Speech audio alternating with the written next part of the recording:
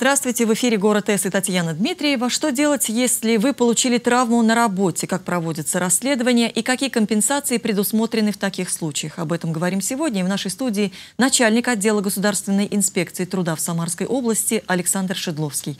Ваши вопросы задавайте по телефону 202 11 22, звоните. Здравствуйте, Александр Александрович. Добрый вечер. Ну, как меняется картина с травматизмом? Вот от года в год, как вам видится эта ситуация? Она ухудшается, усугубляется или меньше все-таки случаев такого травматизма становится? Ну, по сравнению с 2014 э, годом, то у нас уровень ну, численность несчастных случаев уменьшилась. И по тяжелым 83 случая, смертельные 26, групповые 7 человек. Но, в принципе, конечно, много несчастных случаев – очень, значит, много гибнет людей. Погибших, хотя погибших снижается, с 2010 года 85 человек, угу. в 2014 было 45. А, а 2015 а, еще не закончился. В 2015 Или... пока еще у нас 33 человека. Погибли? Погибли, да, 30 на человек на, на производстве, угу. да. Вот скажите, пожалуйста, гибнут чаще всего в каких отраслях, какие отрасли вот такие ну, у нас две самыми самые такие, ну, сказать, самые, да, травмоопасные отрасли. Это у нас промышленное производство угу. и строительство где самое большое число несчастных случаев. Угу. Ну, несчастные случаи, основная из причин – это недовлетворительное производство работ. Сюда что включается, как пишем в части, то есть недостатки в обучении работников по безопасности труда, нарушение трудовой дисциплины, нарушение технологического процесса производства работ. Вот это основные случаи. Угу. С другой стороны, если брать нас, конечно, и травматизм молодеет. Еще какая э, одна из причин? То есть за эти годы э, перестройки у нас ну, потерян такой вид обучения, как профессионально-техническое обучение. Раньше mm-hmm. этому государство уделяло большое значение. А техники и... безопасности тоже там учили вот в да, процессе, там учили да? техники безопасности, mm-hmm. ну и безопасному производству работ. То есть там уже готовили готовых работников для различных отраслей народного mm-hmm. хозяйства. И они приходили уже на предприятия, готовые, э, ну как сказать, выполнять свои, свою работу без аварийно. Угу. В данный момент это отдано на откуп, то есть на, только на больших предприятиях проводится обучение, но это обучение оно проводится, э, как сказать, с нарушениями и некачественно. Поэтому травматизм растет и до 30 лет, то есть много гибнет молодых людей. Ну, основная причина – это, конечно, недостатки в обучении угу. людей. Вот вы сказали, что невысокий уровень самих работников вот, отделов по безопасности да. труда. Да? Уровень а как под... можно исправить эту ситуацию? Я слышала, что со следующего года должны быть все дипломированными, вот такие специалисты. Вот, а Государственная инспекция труда не может какие-то проверки проводить? повышать уровень тех же работников или нет? Вот нужно же причины-то искоренять. Вот причины назвали, и, наверное, из года в год они одни и те же. Нет, ну, мероприятия проводятся. Вы все знаете, что проводится конкурс это, рабочего мастерства, проводится и в Самаре. Вот это для работников, повыш... а для специалистов охраны ну, труда? Ну, а для специалистов охраны труда тоже мы здесь и в Самаре проводим обучение. Они угу. проводятся обучение на курсах. И, в принципе, самый лучший процесс обучения, когда мы работаем непосредственно с организациями, работаем с представителями, вот как раз э, с работниками охраны труда, угу. специалистами по охране труда, и у них происходит не только теоретическое обогащение, но и практическое обогащение. Мы с ними работаем и по несчастным случаям, по обращению граждан. И поэтому мы повышаем их уровень. Ну а так, конечно, каждый специалист, уважающий себя по охране труда в организации, и работодатель, они самостоятельно проводят угу. обучение специалистов Понятно. по охране труда. А количество жалоб в инспекцию труда увеличивается год от года? Количество жалоб, да, увеличится в инспекцию год от года. А о чем это говорит? Вот если проанализировать, почему становится э, жалоб? Вы говорите, случаев травматизма меньше, а жалоб больше. Вот как ну, это связать? Жалобы у нас поступают, ну, работники обращаются и непосредственно по вопросу травматизма, то есть расследования несчастных случаев, они обращаются или к работодателю, если работодатель им отказывает или не проводится расследование, если случай сокрытый, угу. они обращаются в Государственную инспекцию труда. Угу. Вот. И также у нас много других вопросов. Э, основной из основных вопросов это у нас легализация трудовых отношений. Да, вот мой следующий вопрос как раз этому посвящен. Вот работники... Если нет договора трудового работника, а он получил травму. Вот он на что-то может претендовать или не, вообще ни на что? Ну, не, он, в принципе, претендовать не может.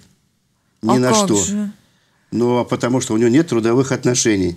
Мы, когда проводим мероприятия в организациях, вот проводим выступления, мы говорим, э, в чем плюс заключения трудовых угу. отношений? Заключение да, договора, это, да, да, ну, да, да. да, заключение трудовых отношений, то есть официально, то есть получение трудового договора. Это как раз у, у работника есть право на расследование несчастного случая, у него происходит накопление пенсионных, накопления, угу. хоть пенсии небольшие. И да вот это... это право, оно реализовывается уже в инспекции. Если Плюс он... это понятно, но не все работодатели на это идут. А вот как этого добиться, потребовать, вот в чем проблема-то. Ну, этот процесс, э, в принципе, сложный. Как угу. мы можем добиться, если он не работник, мы же проводим расследование с работниками. Угу. Если хотя бы у него были гражданское труд... это правовые отношения, тогда Э, и то прописано в положении расследования, что или если работник погиб, то должен или он обратиться, или его родственники.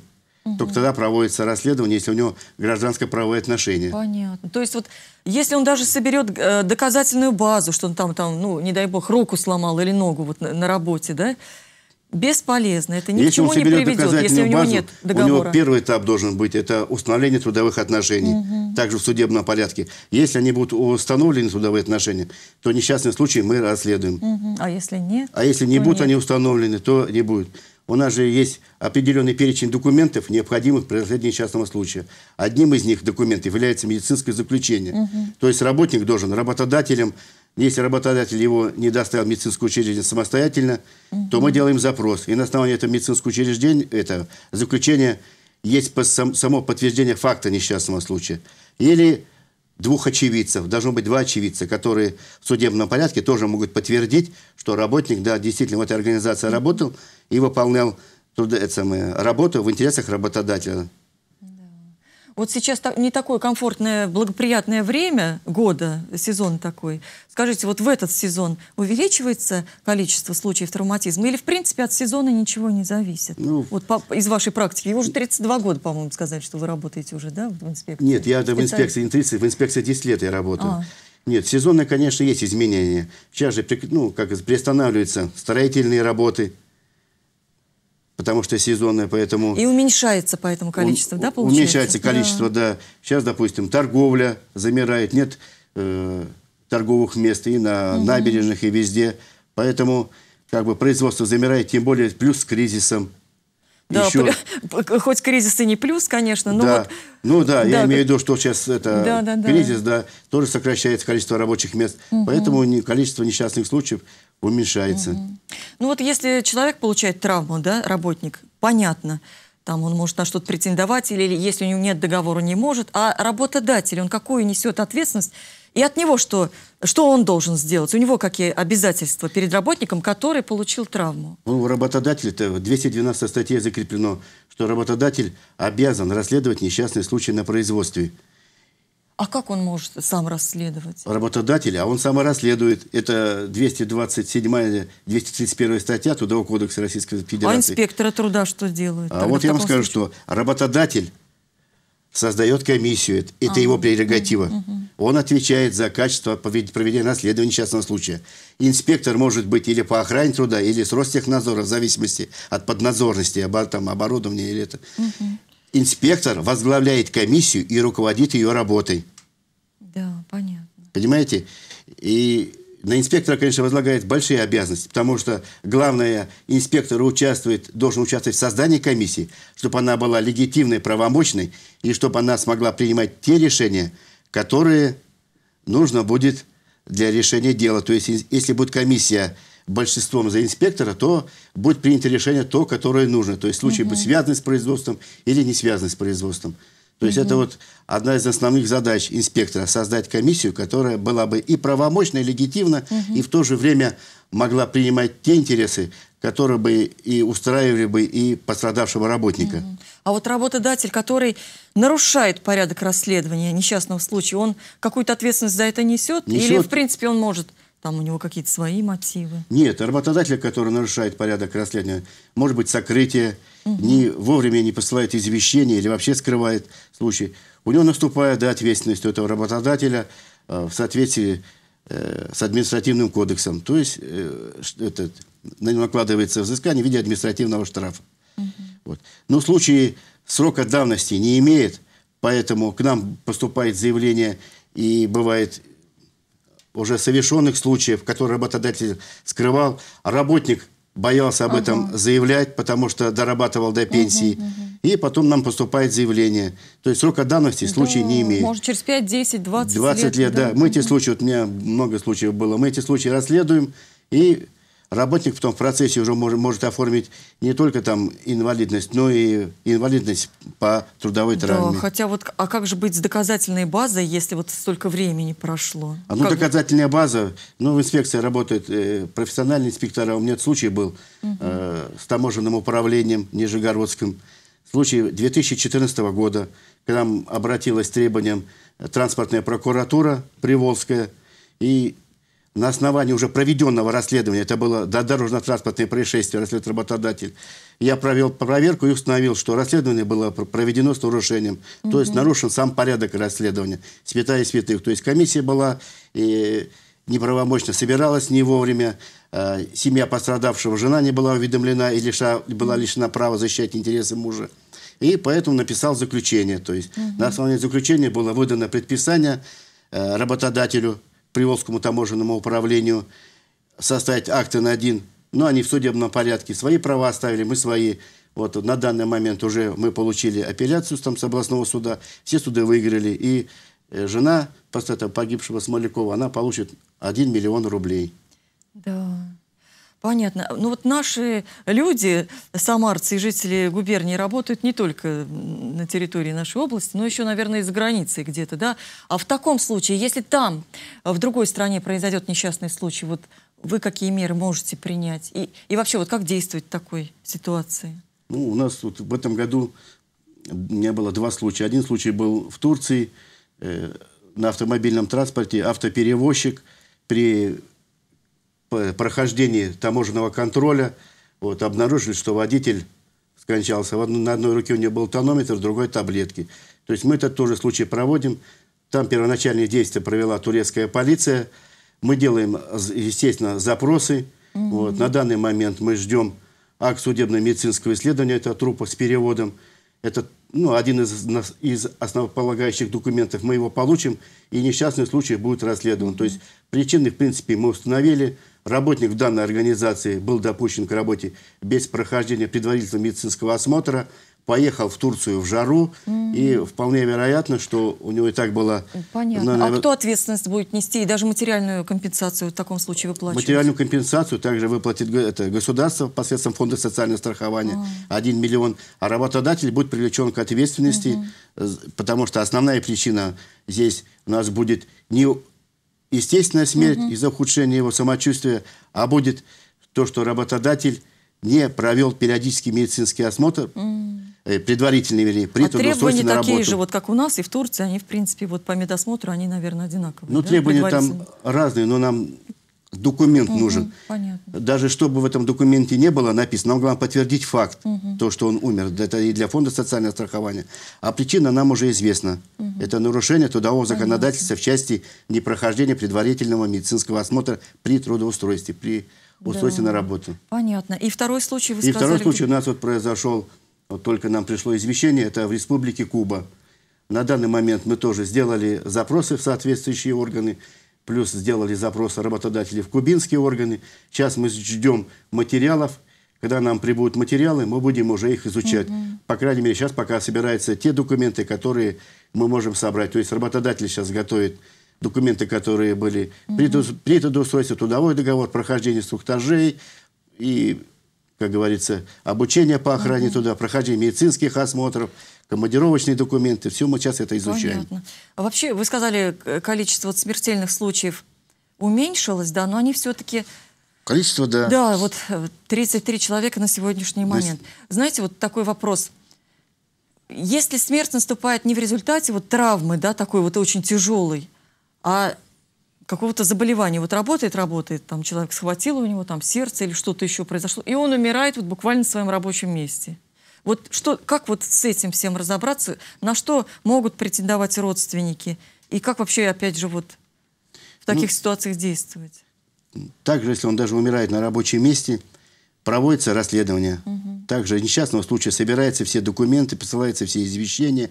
И в процессе уже расследования, изучая полученные документы и материалы, мы уже приходим к выводу, или его была основная причина – это естественная смерть, то есть за счет ухудшения его здоровья, общего самочувствия, общего самочувствия угу. или было какое-то нарушение, вот я имею в виду, или человек не прошел пред, это, предварительный медицинский осмотр. У меня случай был, человек не прошел, вернее, прошел периодический медицинский осмотр, но была рекомендация комиссии, комиссии врачебной его перевести на другую легкую, угу. легкую работу. Он не был переведен. Это было мной установлено, поэтому этот случай тоже был связанный. То есть одна из основных причин это было вроде бы как ухудшение его угу. здоровья, да, а с другой стороны мы установили, что одна из основных причин это была как раз не перевод его на другую работу. Угу.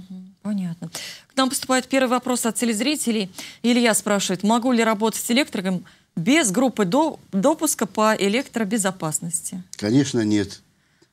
Это требование Ростехнадзора. Он, как он может работать? Он должен пройти обязательно это, пройти обучение, сдать mm-hmm. экзамен, получить определенную группу и работать, и только тогда он будет уже электриком. А вот если э, вот предприниматель, вот работодатель допускает его? Нет, он его должен обучить как электрика, во-первых. Он должен пройти профессиональное техническое обучение. Должен пройти обучение по охране труда. Угу. Пройти... То есть самому ему даже лучше не рисковать, даже если его допускают, ну, скажет, там, когда-то я работал там с электричеством. Ну, Нет, тогда... самому ему лучше этим делом не заниматься. Угу. После выдачи средств индивидуальной защиты с нас удерживали деньги. В каких случаях вообще нужно платить? Ну, так... За вот средства нужно платить все-таки работникам? Или это обязанность работодателя? Нет, это обязанность работодателя. Это 212 статья. Работодатель обязан обеспечить работников бесплатной специальной одеждой, специальной обувью, другими средствами индивидуальной защиты угу. за счет средств работодателя. И статья 221 говорит о том же, что работодатель обязан Первая статья у нас начинается, работа обязан обеспечить безопасные условия труда. И пошло. В том числе как раз обеспечить его специальной одеждой, специальной обувью, другими средствами индивидуальной защиты. То есть если несчастный если он произойдет, не... вы будете разбираться и скажете, Конечно. что он был без Без обеспечения, защиты. да. Угу. Он его обязан не допустить к работе, к выполнению работы. Угу. Какую квалификацию должен иметь работник, назначенный ответственным за содержание в исправном состояние инструмента и приспособлений. Вот квалификация таких работников, ответственных за содержание инструментов.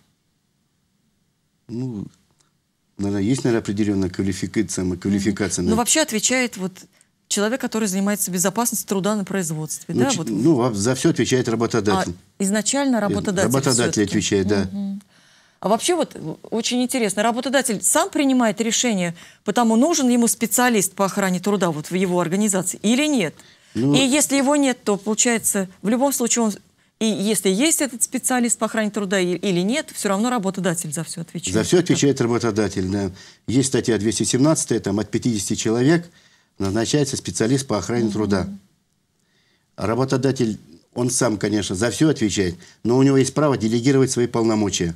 То есть он себе расширяет штат, создает заместителей, угу. ответственных лиц там, за эксплуатацию транспорта, за эксплуатацию оборудования, за, допустим, за эксплуатацию вот этих э, инструментов, инструменты, пилы, да, наверное, или что-то. Да, он их да? проводит обучение, выдает им должностные инструкции их, угу. вот, готовит их и отдает их приказам. И они несут полную ответственность.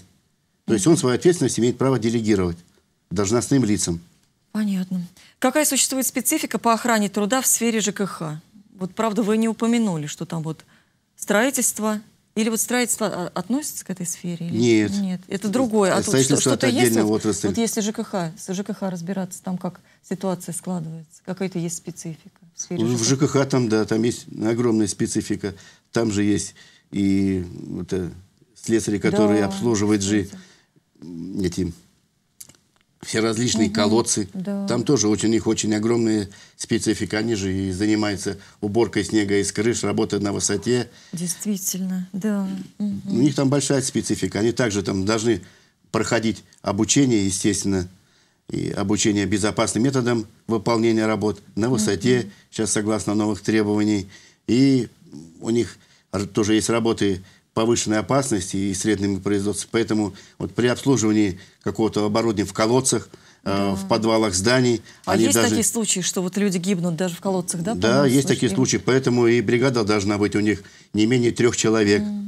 Обязательно должны быть противогазоизолирующие mm-hmm. с вынесенными этими, воздухозаборником, должны быть страховочные пояса, то есть чтобы вовремя оказывать, mm-hmm. должны быть газоанализаторы, то есть прежде чем спуститься в колодец, он должен замерить, там, как среда там опасная или не опасная, есть ли нет там газ. Поэтому и случаи были, да, что даже по два человека, по три, то есть один спустился, другой видел, что он упал, не знает зачем, угу. и пытается ему помочь, тоже теряет угу. сознание. Ну, это обучать, конечно, нужно. Это обязательно нужно людей да. обучать, да. А, какие специальные условия нужно соблюдать в косметическом салоне, где производятся услуги по инъекции, инъекционной медицине, а также другие различные медицинские процедуры. Вот вообще вот отрасль медицинская сфера, там тоже же, наверное, очень много каких-то вот... Да и медицинская отрасль там тоже же... А и... вот конкретно в косметических салонах там что, есть какая-то опасность по вот, охране труда? И инъекциями? Ну, или, наверное, или есть... опасность для, для пациентов может, может, для пациентов. Но там тоже есть какое-то, наверное, оборудование. Угу. Если они пользуются, допустим, каким-то даже тем же электрофеном, у них есть оборудование, вот это надо проверять, что фен был исправен, чтобы были исправны там а розетки, был исправен сам этот провод, который mm. соединяет вилку и сам этот... Ну, кстати, да, вот пока вот вы говорите, даже вот были случаи, когда но это не с этим связано, когда вот у зубных, у стоматологов там умирали люди в креслах, да, но это, конечно, не, не, ну, наверное, да. не с охраной труда, но все-таки вот Ну, это стоматологов тоже... там тоже надо, чтобы оборудование, допустим, было заземлено, потому mm-hmm. что он этим прибором, как говорится, пациенту в полость рта да. вошел прибором, а если прибор не заземлен, может быть и даже удар электротоком. Угу. А вообще вот как строится взаимоотношения инспекции труда государственной вот с такими мелкими частными салонами, там, стоматологическими, косметическими и так далее. Ведь сейчас мы выяснили, что там тоже могут быть несчастные случаи, а даже не среди сотрудников и работников, а даже среди пациентов. А вот это как-то вот вы эту область курируете или нет? Или это нет, ну у нас это обычные плановые проверки или внеплановые проверки. Угу. А так мы в соответствии с 294 федеральным законом мы их никак угу. курировать не можем. Только если у нас есть распоряжение, то есть если проводится проверка. А проверка когда проводится? Или плановая проверка, которая формируется угу. за год до наступления этого, этого периода работы, или внеплановая, которая формируется за счет обращения граждан. Угу, угу. Следующий вопрос. Должен ли работодатель страховать своих работников от несчастных случаев? Вот это обязанность ложится на... Да, ложится обязательно. Работодатель должен страховать их от несчастного случая. У нас же есть, когда мы квалифицируем несчастный случай, есть квалификация несчастный случай, связанный или связанный на производстве, да? Угу. И страховой несчастный случай. Ага, это да, понятие. Да, да, да, Поэтому да, да. все должны быть застрахованы. Потому что если он не застрахован, работодатель с него не выплачивал фонд социального страхования, угу. то даже если мы случаи, случаи будут связаны, то у работника возникнут проблемы, надо будет их решать в судебном порядке, чтобы фонд социального страхования признал его страховым, и работник угу. получал выплаты. Да, понятно. Вот еще такая ситуация. Если работник получает травму, даже тяжелую, но по собственной вине, что-то он там сам не выполнил, нарушил, вот какие бывают там сам правила безопасности не соблюдал, оборудование неправильно включил там или выключил, или что-то. Вот в таком случае он на что-то может претендовать? Конечно. Или...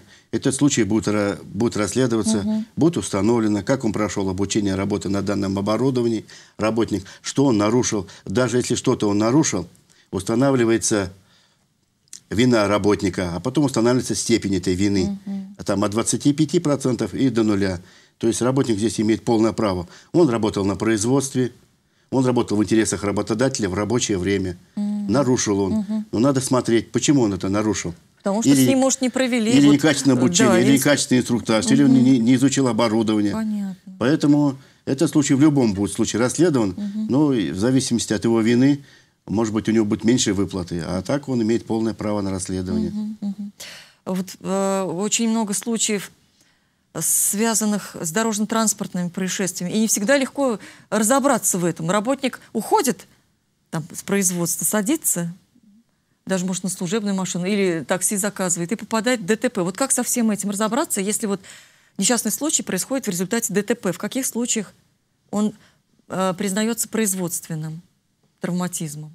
Ну, ДТП – это если дорожно-транспортное происшествие, если работник ехал в машине, работодатель непосредственно. Да, только в этом случае. Да, да? в этом случае это считается ДТП или это самое. А если с работы поехал? И, ну, если, или пошел Если даже? у работодателя организована доставка на работу из угу. рабочего места на транспорте работодателя, тоже производственная травма будет. Угу. Вот, а если он едет на городском транспорте, то в данном случае угу. у него нет. В данном случае когда может быть? Если работодатель его в рабочее время направил куда-то в какое-то учреждение выполнять какую-то работу. Угу. Тогда этот случай тоже будет на производстве. Да, а вообще какие документы нужны, чтобы подтвердить вот факт производственной травмы? Или вот э, человеку а... вот кажется не до этого, да, вот он получает травму, и ему еще какие-то нужны документы собирать. Вот кто этим должен вообще заниматься? Работодатель собирает. Сам работодатель? Сам работодатель. А, понятно, Если работодатель что... случай сокрыл, поступает жалоба в инспекцию или обращение, вот, расследует инспектор государственный, он делает уже сам запросы. Запросы делают соответствующие органы. Вот как, допустим, если в ДТП мы расследуем дорожно-транспортное происшествие на основании материалов ГАИ обязательно. Да. Вот. Вот недавно произошел случай, смерть сотрудника в автозаводском районном районе Тольятти, да, мужчина скончался от асфиксии при производстве работ на трубопроводе в колодце. И это частная организация. Скажите, вот выплаты частной организации какими могут быть вот э, в сумме материальной? Потому что вот государственный, вы сказали, миллион, да, в случае смерти. А да. А если частник допускает вот такие вот ну, случаи, он обязан что-то выплачивать? Он не обязан. Если у него, если у него есть, допустим, коллективный договор, и ага. по коллективному договору положены выплату этому работнику, на больших предприятиях есть коллективные, хорошие коллективные договора, и там очень значительные выплаты. Вот, если заложено это Заложены, да, договор. не заложены, А если да. нет, то нет? Получается? Нет, да. Вот я случай расследовал, Татнефть, это компания, она в Татарии зарегистрирована. У них в коллективном договоре заложено, что выплаты по смерти там кормильца угу миллион. То есть А-а-а. он а. получит выплаты из фонда социального страхования и плачи, получит выплаты да. от организации. Угу, а так угу. работодатель, если он застраховал работника, ему выплачивает только фонд социального страхования. Но в любом случае ответственность ляжет на этого работодателя, у которого работник Да, будут установлены погиб. причины, степень угу. его вины, Обязательно да. установить причины несчастного случая, степень вины, виновные лица, и которые будут привлечены к административной ответственности, угу. это в виде штрафа, или у нас присутствует еще уголовная ответственность. Угу. А какие-то еще другие меры социальной защиты, кроме денежной вот этой компенсации, предусмотрены или нет? Вот в случае травмы на производстве. Чего вот? Ну, на оплата больничного листа полностью, Больничный. да. Угу. А и... срок вот, вот оплаты больничной тоже, вот некоторые говорят, вот мне там выплатят три месяца, а может дальше и не будут платить. Вот как с этим определить? Не, ну если по травме ему оплатят полностью, сколько угу. он будет болеть, плюс фонд социального страхования выделяет деньги на его реабилитацию, на его лечение. Все угу. это будет из, из, ну, из, идти из казны фонда социального страхования, то есть это государственная угу. структура, будет его на лечение и реабилитацию в дальнейшем. Да. И плюс, если травма это будет производственная, естественно, установит его степень потери трудоспособности, он еще будет получать угу. выплаты. У нас остается вот буквально минутка. Вот основное правило, которое должен, которым должен руководствоваться каждый работник, чтобы не быть травмированным и так далее, вот в такие ситуации не попадать. Вот какое, вот на ваш взгляд? Ну, основное правило, если не знаешь, то не нужно производить эти работы. Если сомневаешься, угу. лучше остановиться вовремя. Угу.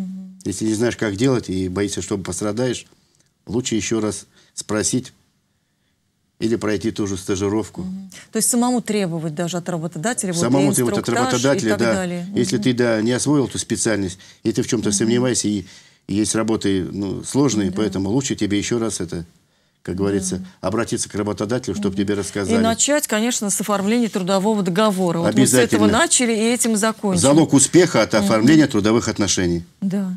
Спасибо большое за то, что пришли, э, поговорили на эту вот важную тему такую потому что очень много работающих людей, и все мы должны думать о том, что это может произойти с каждым. Спасибо еще раз, спасибо и вам за внимание. Всего хорошего, до свидания. До свидания.